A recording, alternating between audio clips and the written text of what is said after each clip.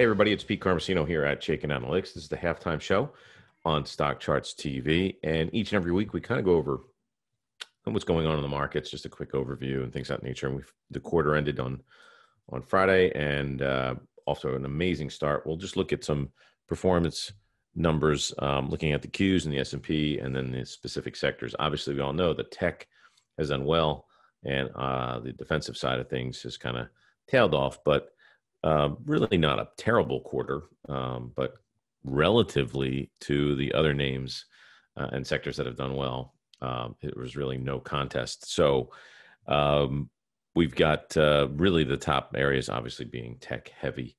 Uh, the tech heavy Nasdaq did well. Uh, obviously, the S and P did okay, but not as great, um, not as good as a performance. And that kind of goes to show you that when you start to see momentum take over, right? That the the momentum is really just what's going to push everything. Now we've gone through an incre- incredible quarter. Talking about uh, a bank, slight banking crisis, um, really a crisis of uh, of risk management issues.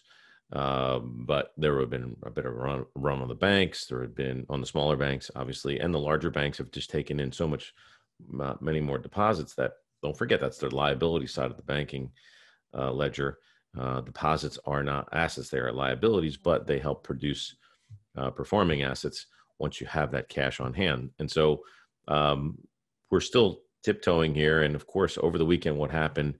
We started to see that OPEC uh, decided to, I guess, put a floor in uh, the price of oil. And depending on which one you look at, we were talking about this last week about uh, the oil price being in that range where the White House said they would start buying, which is around $70 per barrel.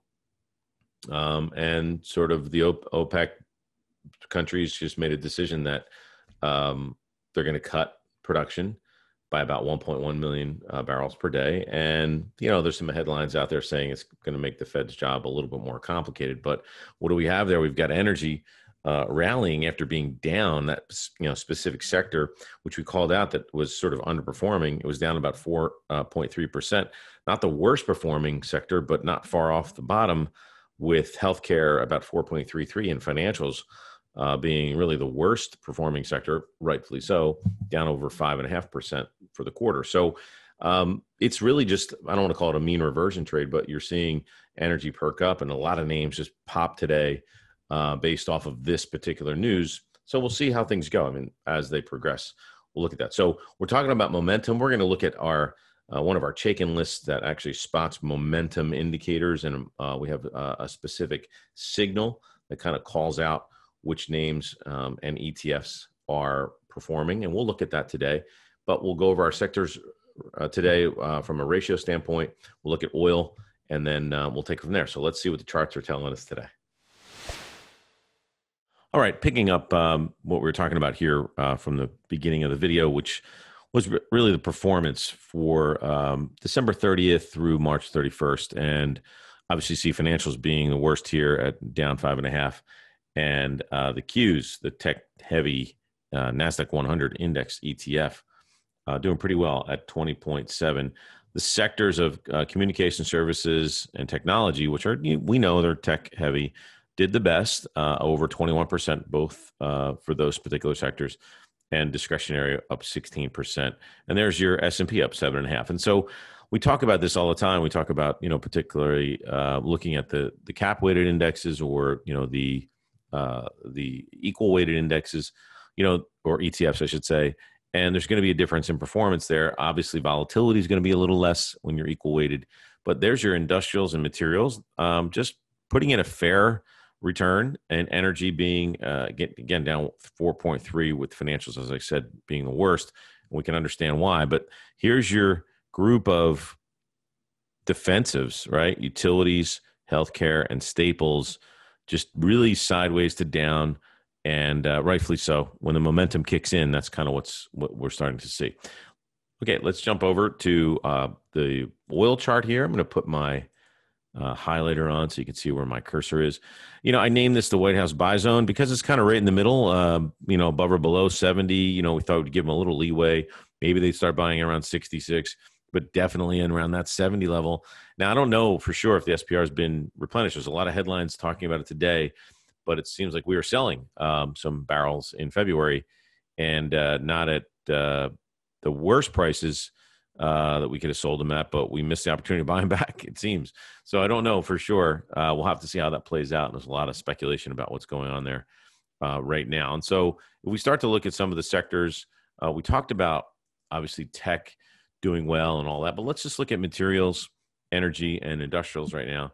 Uh, and again, materials weren't great um, from the ratio standpoint. They weren't terrible, uh, but they really weren't a place to be to to make money.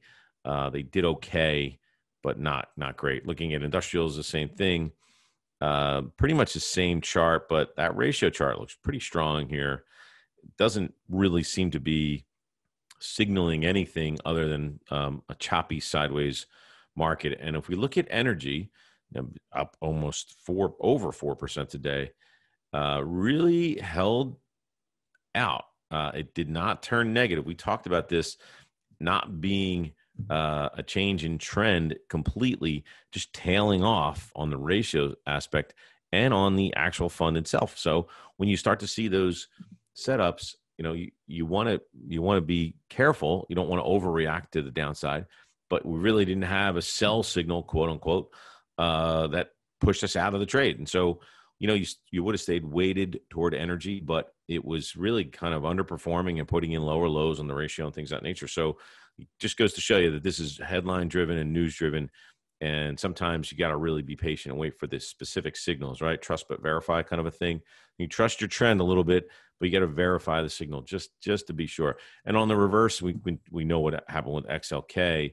It's just been a powerhouse and that signal was really putting in right around the February area. But on the ratio, was a little behind um, beginning of March. But still, if you waited, um, didn't hurt, right? Didn't hurt you, hurt you less. And looking at like a utilities from just one, looking at one of the defensives, again, that downside was put in on the ratio the beginning of the year at the end of January or so. But really, on this particular ETF chart, um, you know, it was signaling underperformance since October. And so that's kind of how those played out. But let's take a look at some of the momentum names here on the Chaikin list. And I'll just pop over to our system. I got them queued up here. And I've got 73 what we call momentum breakouts uh, that are bullish, only one that was neutral. I'll go all the way down. I'm just curious what was the neutral name? It was Monster, M N S T, Monster Beverage and really from from a neutral standpoint it's not really that bad of a performer it's been doing really well since um, last year. Like april is when the relative strength change really didn't get negative here but just a slight area but just a, a pretty steady uh, performer there for the entire year. But you know i'm going to try to go through some of these. I'm not going to get through 73 names here or 73 tickers that's for sure. But if you can see what uh, categories they're in looking at ANSS software name um, with a nice breakout here from that relative strength in the beginning of January. Again, that's when the momentum train really started um, to take off and leave the station. And there's a name that moved from 240 up to you know 330, almost 90 points. Um, a pretty interesting name. Here's uh, these are mostly these are ETFs, which is interesting, right? So here's a global robotics ETF that still does doesn't look like it's out of the buy range. You know, for me, I'd like to see it test that 23, which it did, and now it's starting to break out. And so that's kind of interesting. If I look at CARZ, uh, again, this is the first trust, first trust network future vehicles and technology ETF. So you're thinking like think EVs and things of that nature. Not bad. Um, it's doing okay. Again, a momentum breakout being signaled. But here's a name, an old name, uh, but certainly not forgotten. Cisco, Cisco Systems, right? The tech and networking communications equipment company has been on a on a nice little move here, right? And still, so a lot of these names are starting to get, you know, sort of a uh, the the giants are being awoken a little bit. And um, look at Interpublic Group, IPG, a media name on a breakout. So you've got really an interesting, uh, diverse group of names and a lot of old tech and mega cap tech, right? You start to look at a name like Oracle started to break out at the end of uh, October, and that was really still neutral. And we turned bullish uh, somewhere around, we'll call it the week of March 13th, it looks like. And then momentum breakouts is signaling today. And you're starting to see these names strong stocks and strong industries continue to perform. And I'll just pop through a couple more names here. Let's just look at the Qs We talked about it, what an incredible performance it had for the first quarter.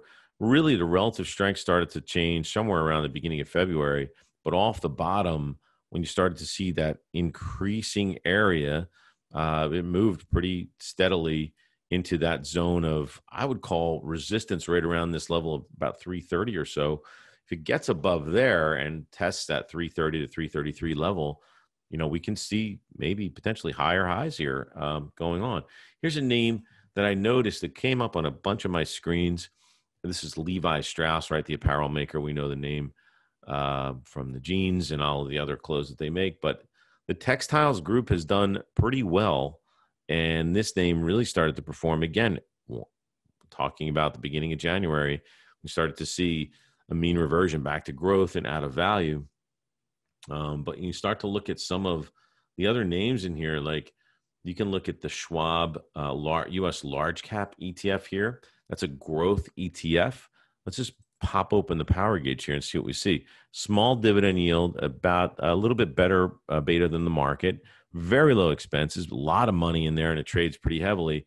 But you can see what names are in here, right? If you had our system, or if you go to their fact sheet, you can take a look. But I'm going to load the Schwab ETF names in here, and you're not going to be surprised, right? There's ANSS, which is the name that was at the top of our momentum breakout list. It's actually one of the holdings in this name.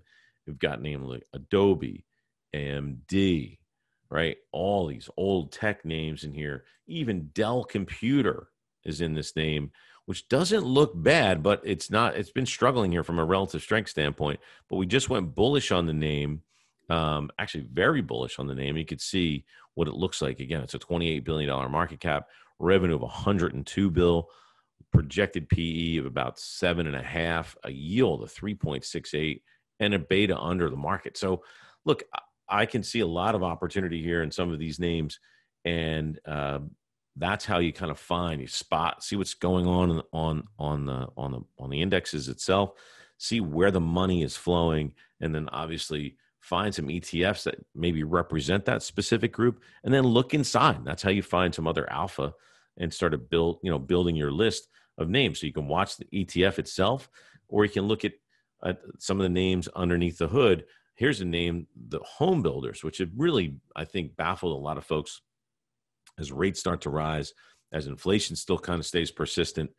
And uh, it's, it's amazing to see the household durable companies and home builders in general do well. If I click on that specific group, let's see what let's drill down a little bit further and look at some different names there. You're going to see a lot of home builders, obviously, uh, in the very beginning. And then you're going to see there's Lennar, there's KB Homes, right? All these charts look very, very similar, right? They all started to break out the at the uh, end of the year, um, beginning of this year, 2003, and another obviously MHO, another household durables name, another home builder. But you got names like let's see here. I was looking at this earlier. Oh, Mohawk, that's the one I was looking at, right? So it kind of goes hand in hand with some of the home builders. But this one's struggling, right? It broke out came back down. It is a strong stock and a strong group, but relative strength is really holding this back with negative money flow. So you get some mixed setups here, mixed indicators. So you have to trust the trend, as I said earlier, but you got to verify what's going on underneath the hood on a lot of these names. All right, folks, that's all we have for this week. Thanks for tuning in. Again, trust but verify the trends. Take a look at what's going on in the big picture, but look underneath the hood and see what's happening in those you know specific names in the ETFs that are breaking out. Take care. We'll see you next week.